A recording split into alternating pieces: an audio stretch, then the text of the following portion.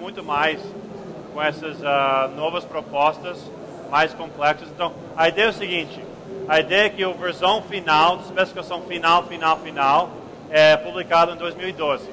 Já dá para usar hoje, especialmente se você trabalha com consumidor e não com o mercado corporativo. Um, uh, que dá, dá para usar já hoje. Um, o, você vai ouvir, um dado de 2022, ignore esse dado. É o dado oficial quando dois browsers implementam a especificação inteira. Até hoje, nenhum browser implementou 4.01 inteiro. Então, a dado importante de quando vai realmente estar tendo em qualquer lugar é 2012. Eh, já dá para mexer. E se você tem usuários que usam a aplicação móvel, já mexe. Porque onde você tem o mais, mais, maior concentração de browsers capaz de uh, usar os elementos é está no browsers, no browsers móveis. Mais perguntas?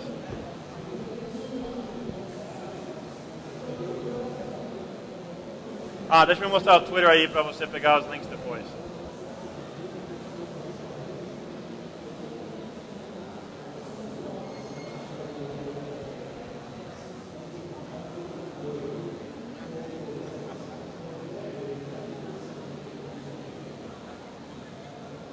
Beleza, tá o Twitter aí. É, então, quando eu vou sentar aí, já mandar todos os links aí. Mais algo? Ninguém tem perguntas? Entendeu tudo? Ao pouco? Português deu para entender? Mais ou menos? Você vai disponibilizar o PowerPoint para gente? O PowerPoint é o seguinte, até, nem é um PowerPoint, é HTML5. Então, a apresentação é que está falando do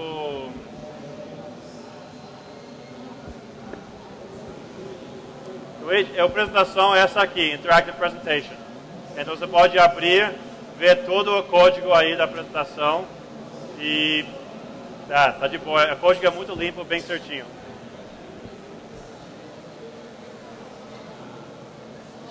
É, esse é o site, o HTML5 Rocks, vai nesse site, tem tudo que você precisa.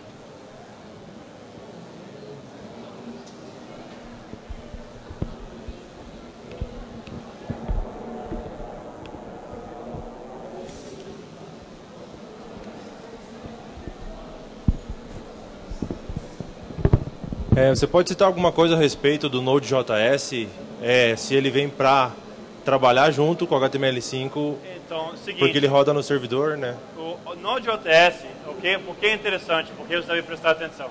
Node.js é o primeiro exemplo que você tem de, um, uh, de usando Event-Driven Development. Então, onde tudo é, é feito através de eventos. Então, hoje em dia você vê exemplos, são eventos bobinhos, simples, talvez o IRC, chat, coisa assim, mas minha esperança, que eu imagino que vai acontecer, é que você vai, com cada vez mais desenvolvedor de interface, fica acostumado com eventos, o conceito de eventos, em vez de você, hoje em dia você usa internet eh, computador como? É tudo, você uh, puxa a informação. Você quer checar seu e-mail, você vai para o seu e-mail. Você quer no internet, você vai lá. Você quer ver o tweet, você vai lá. Então tudo você vai atrás. Com cada vez mais eventos, vai ter essa coisa onde as aplicações vai começar a avisar, eu fiz tal, eu fiz tal. E as outras aplicações vão ficar ouvindo. Então, ao invés de, por exemplo, você usa Growl. Tem um sistema chamado Growl que tem no OS 10, que é um sistema de notificações.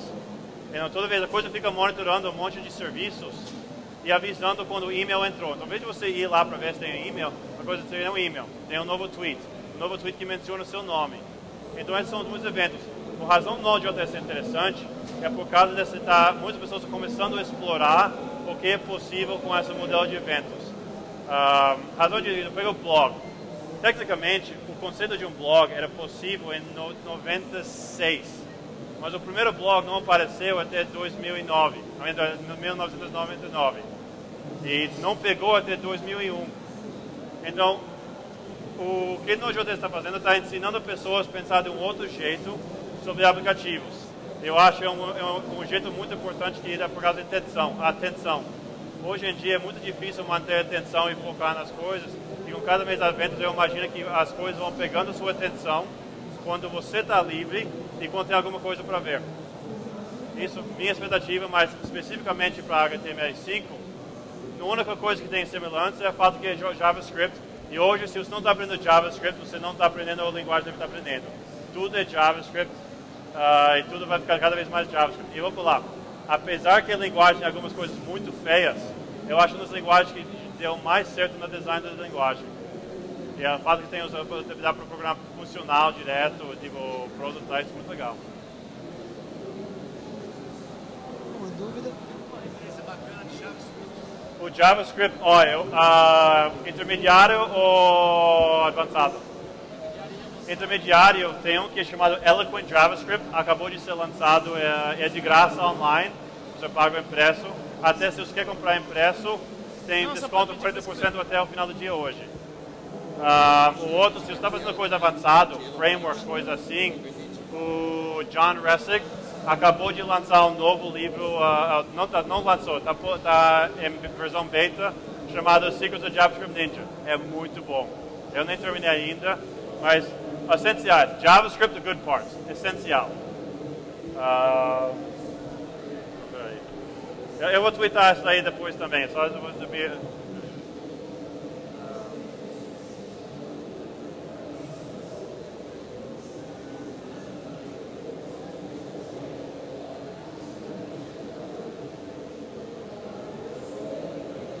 JavaScript, the good parts do Douglas Crockford. Até se você quer saber tudo sobre uh, JavaScript, as pessoas para seguir são Douglas Crockford, um, Douglas Crockford, John Ressick, um, John Ressick, Jeremy Ashkenas, e tem um cara Dimitri alguma coisa que faz a biblioteca do Processing.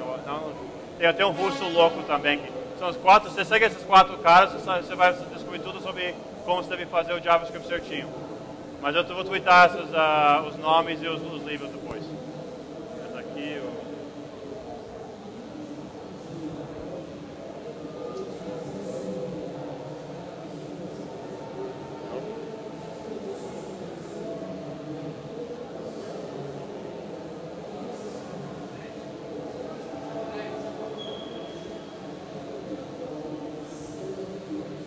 Essa aí, é tudo interativo, até você vai no, no final da coisa, ele tem um REPL, uh, Read Eval Print Loop no final, que você pode testar o código direto no browser.